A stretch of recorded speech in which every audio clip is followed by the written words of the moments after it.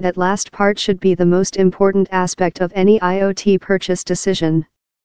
But as I found out when walking past the connected home exhibits with a cybersecurity professional, it may also be the hardest bit to investigate.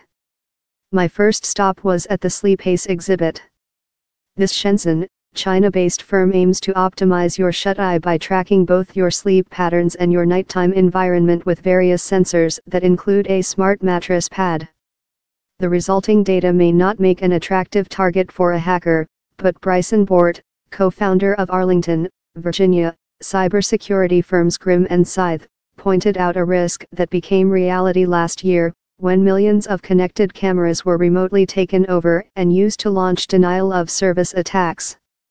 The challenge with embedded systems, as we saw with the Mirai attacks, is that we have all this computational power that can be misused, said Bort, who spoke on a CES 2018 panel about security.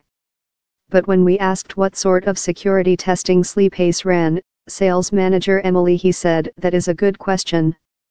Hopefully, the security team actually exists.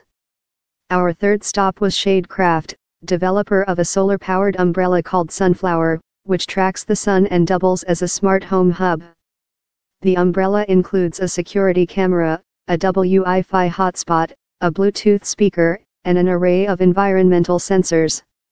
This is an over-engineered solution, said Bort, noting the vast amount of data a sunflower could wind up collecting.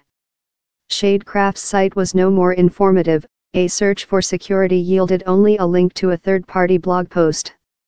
That's a good start, Bort said, but not a guarantee of protection. More from Rob, email rob at rob at, follow him on Twitter at, at Rob Pegoraro.